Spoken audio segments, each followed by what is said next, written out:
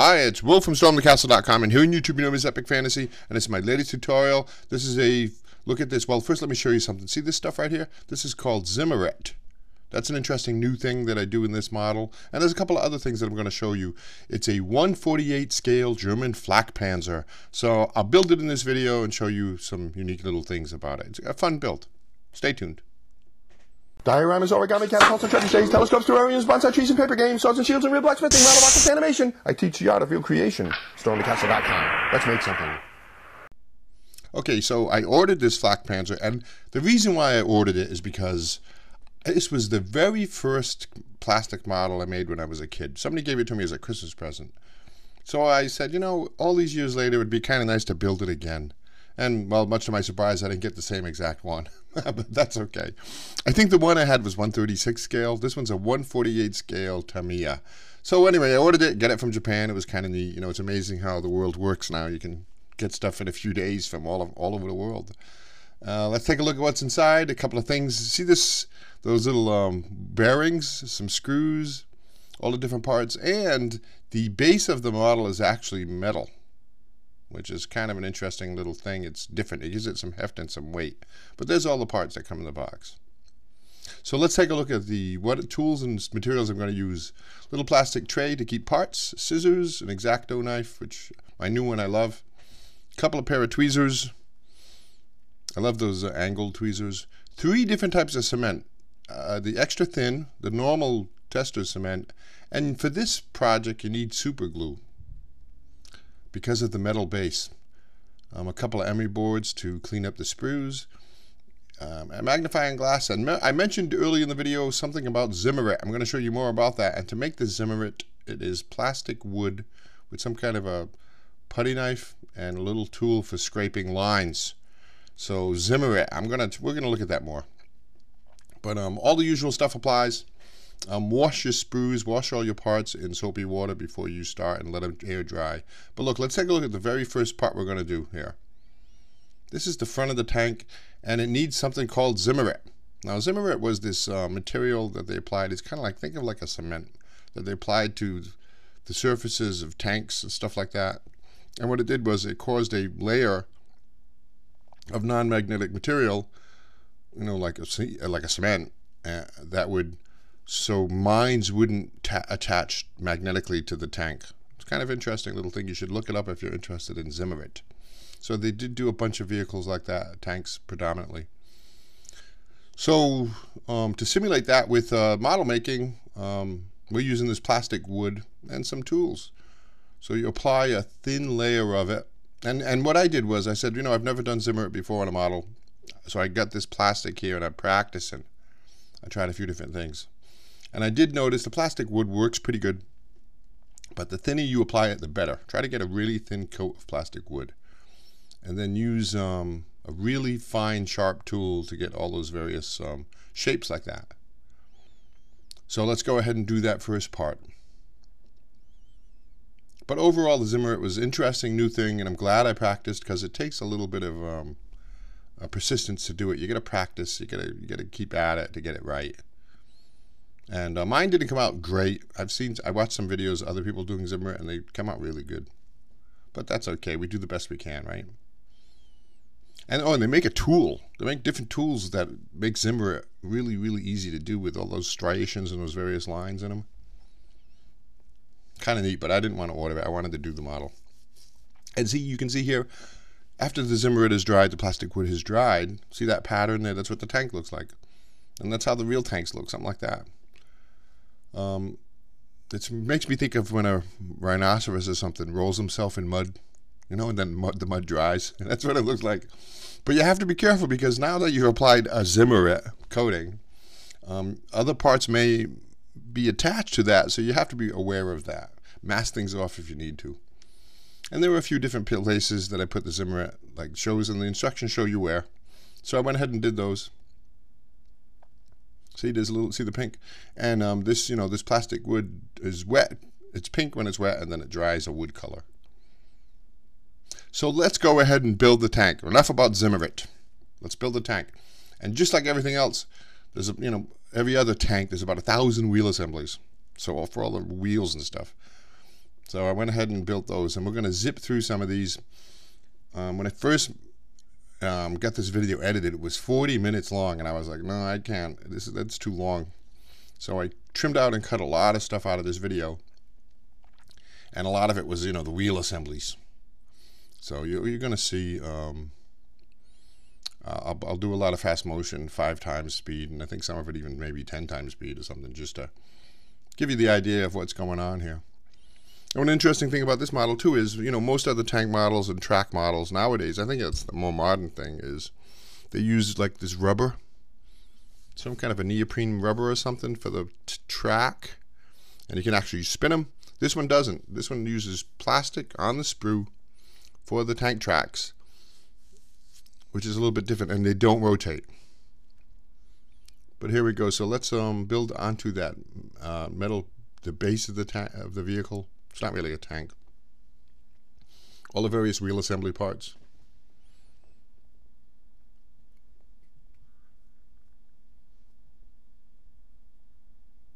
And that's why we need the super glue, see, because now we're we're attaching plastic to metal. So that's something, another thing that's a little bit different about this model. You know, a lot of the plastic models, you don't need super So continue on. And you know, this model, I think it took me, it probably took me 12 hours to make. It's, it takes some time. This, this model, 148 scale is kind of small, so that makes it, you know, um, tricky to work with. You got to be more careful with the smaller parts.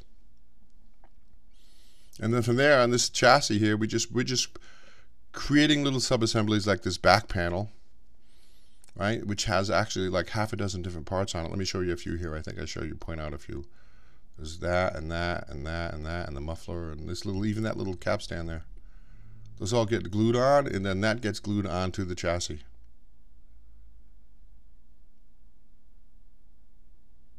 With super glue.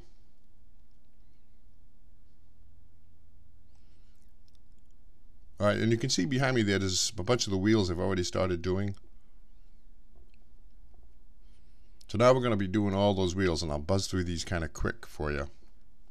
And this one does spin, but there is a reason for that. That's so you can assemble it easily.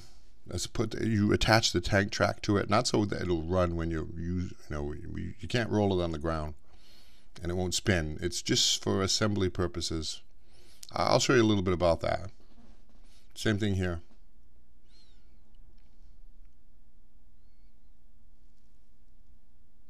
All right, so now the tracks, see they're plastic tracks and you paint both sides because you don't know if you're going to see the tops or the bottoms.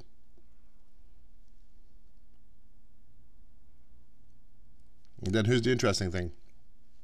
So there's a series of three of these track segments that get glued like this onto that um, drive wheel.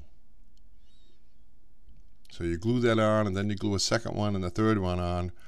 And now you can rotate that wheel so it matches the longer track sections. That's and that's the purpose for the rotation of the wheel. See, I, I just put the third one on. Now, if need be, I can rotate that wheel just to match. See, right here, I've rotated that wheel so it matches well with this next segment that I'm going to put on. So I thought that was a little bit interesting, and, and I think, and I could be mistaken, uh, that could be this could be like old style. This might be how they did it years ago. You know, this might be an old model kit. See? So we just continue that process. You do the same thing on the other drive wheels in the front. And all the way around. Do tracks all the way around, on, and of course on both sides of the tank, uh, the vehicle.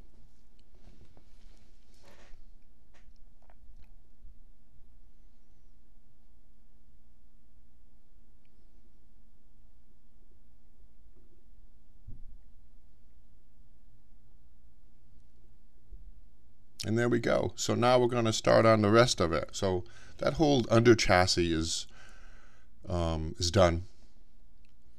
Now we can move on to the base of the um, the vehicle here, the upper part of the chassis, and um, that main piece there gets a bunch of little parts attached to it, both on the inside and the outside. So like these vents.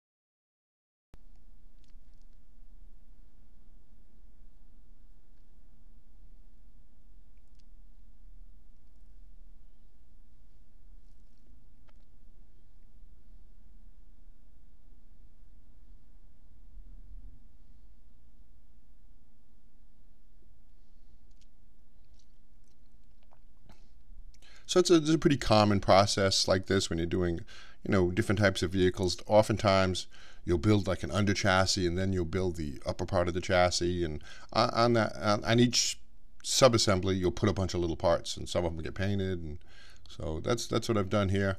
so we kind of started at the ground, and we're working our way up. All this this part of the vehicle gets all its little parts. Some of them are even subassemblies themselves, you know. And then that gets attached to the um, the the chassis, and um, with a couple of screws, one here, one here on the left, and one on the right in that compartment there. You can't see. So it's coming along. From here, it could be a tank, right? But it isn't. It's a Wirbelwind, a Flakpanzer, which is kind of interesting. Oh, and there's, here's another little bit more of the Zimmerit. It, it asked for some more Zimmerit here on this front panel. So I went ahead and did that. And that needs some cleaning up.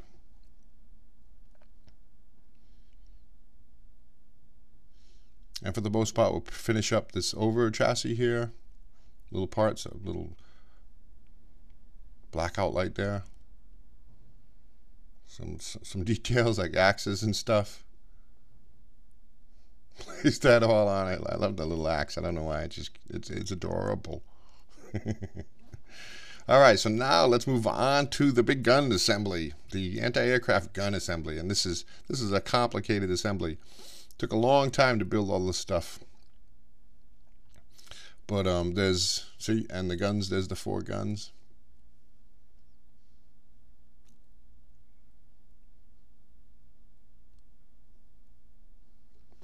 You know, I'm having fun with the model building. Every once in a while, I do one. I have I think I have close to 10 of them here on my YouTube channel. If uh, you're interested in model building, different things, I, try to do a different type of vehicle, you know, so I've done um, an aircraft carrier and a P-51 Mustang, and I've done, you know, a couple of, I think I've done a couple of tanks, and PT-109, which was one of my favorite. Oh, here, let's look at this. Here's an interesting little assembly thing. That big part there is we don't need. The little tiny part on the left there is actually what we need.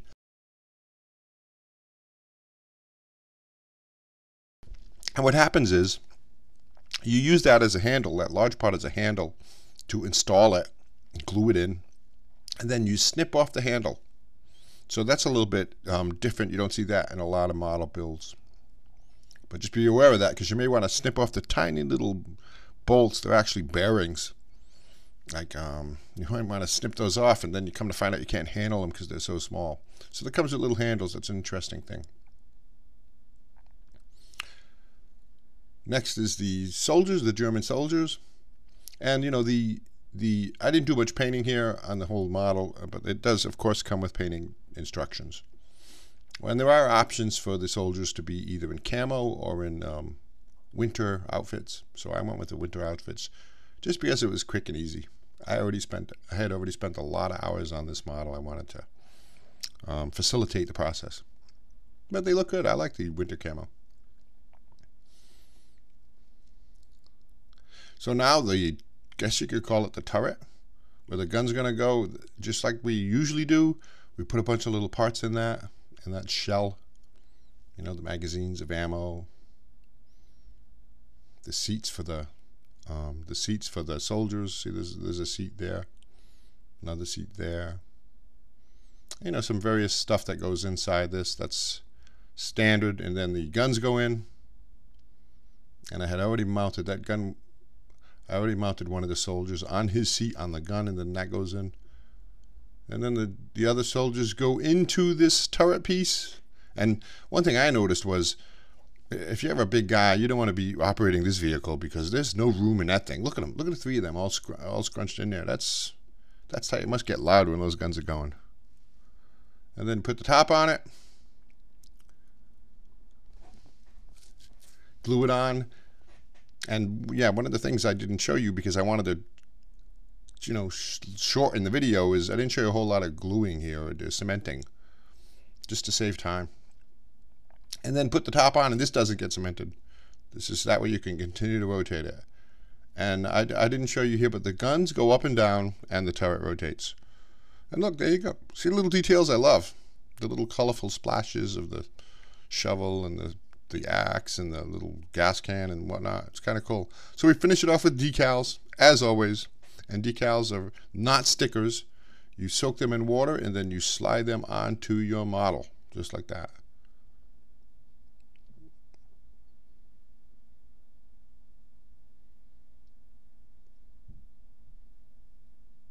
So let me know what you think. Leave a comment. Um, if you build models, hey, I'd love to hear from you. Send me pictures. I'll put them on my website. Let me know what model you want me to build next, but check through the ones I've already done because I don't want to do the same one over again. Um, I have a playlist, but all my model, plastic model builds, all military models. Um, and of course, there's, you know, there's a lot of stuff on my website. So visit my website, stormthecastle.com. And um, listen, um, this channel is um, proudly funded by people like you. So if you can, um, if you want to support me, check out my link for Patreon. I also have the PayPal.me. You can donate and help me to keep going. Thank you. Thanks for watching that video. I hope you enjoyed it. If you're a subscriber, thanks for subscribing to my channel. If you're not a subscriber, hit that button. I always have lots of fun and interesting and very creative projects. I do two new ones every week. As an example, here's a couple more videos you might want to watch.